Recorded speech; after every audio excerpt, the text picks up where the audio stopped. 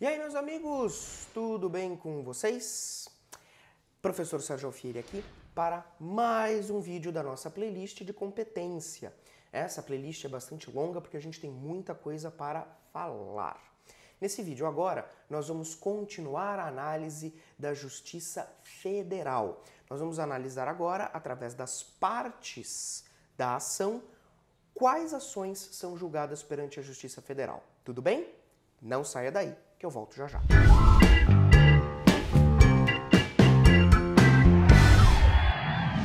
Muito bem.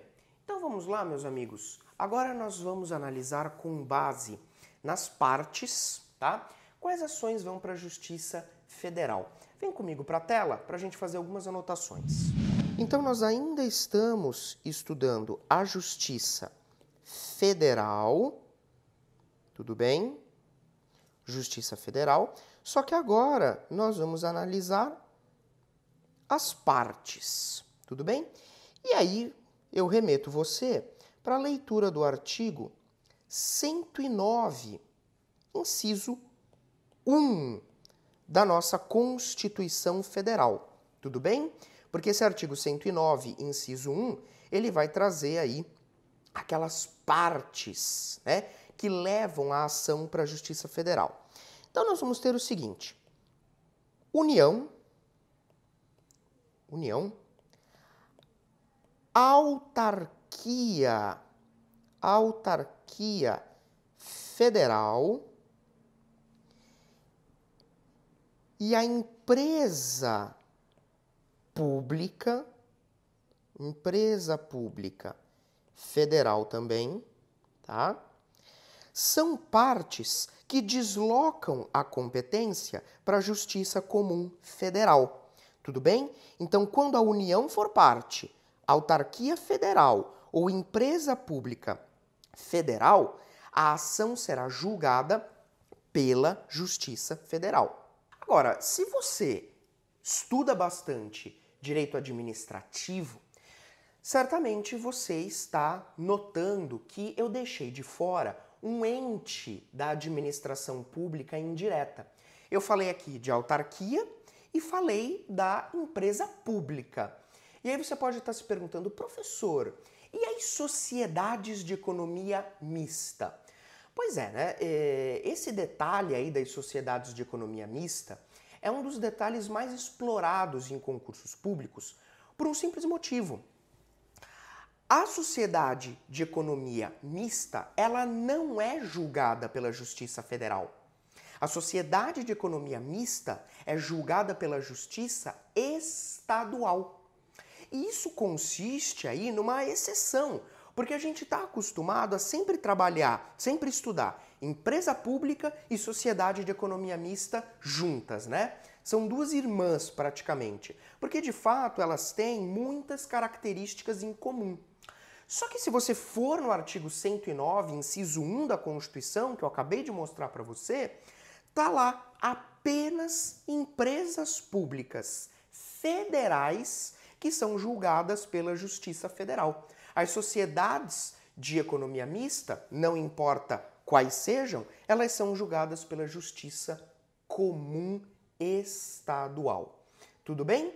Agora, tem um outro detalhe que eu preciso chamar a sua atenção, que é o seguinte: uh, existem determinadas matérias, determinadas ações que, mesmo que essas pessoas que eu mostrei para você sejam parte, União, autarquia federal, empresa pública federal, mesmo ações em que essas pessoas sejam partes, algumas matérias levam a competência para a justiça comum estadual.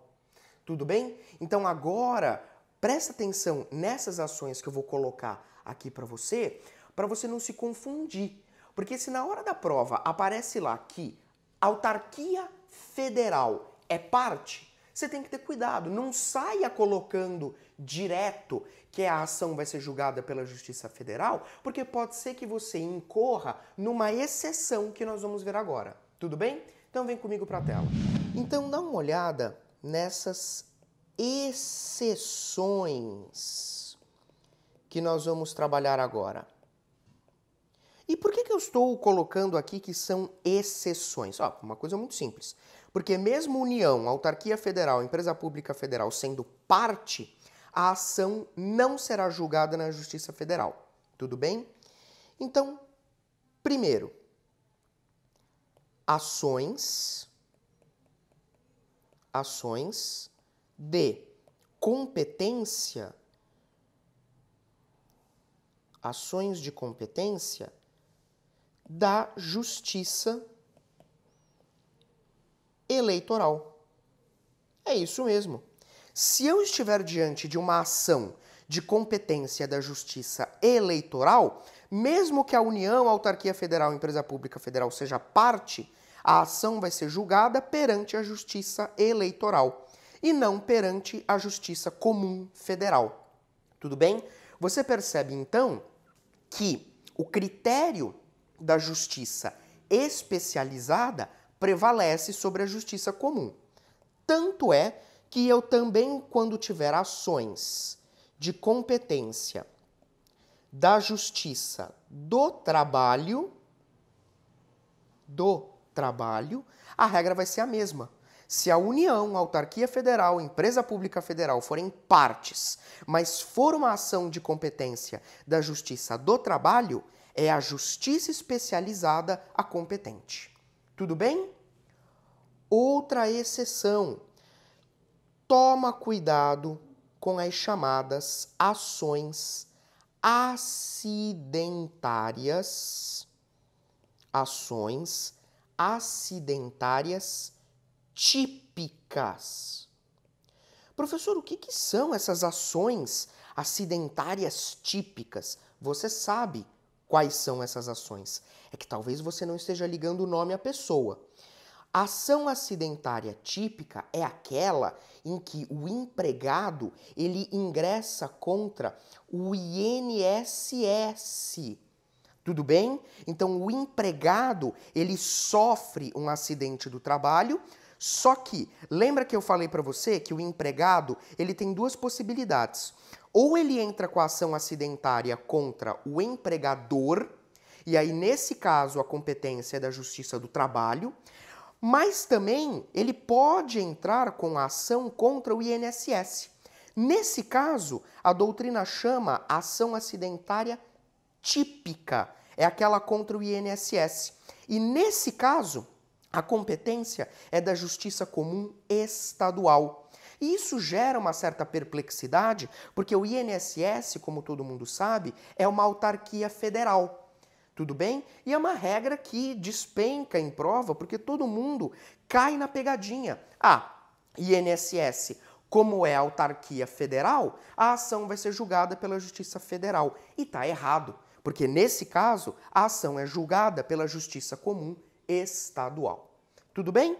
E para a gente fechar, uma última exceção que você tem que ter cuidado, que são as ações de falência, tudo bem? Ações falimentares, né? Ações de recuperação judicial e as ações de insolvência civil.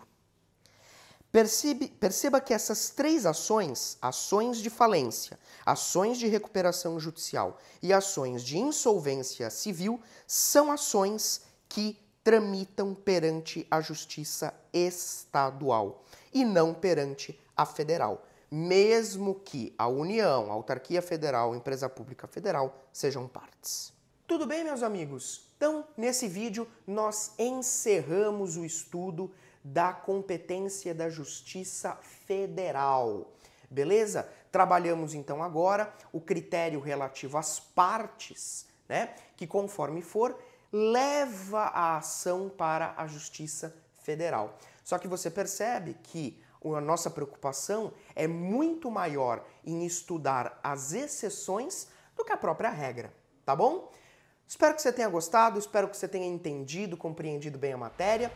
É, aquele velho pedido, né? Se inscreve no canal, por favor, deixa o seu like no vídeo, compartilha e ajuda a gente a crescer, tá bom? Abraço e bons estudos.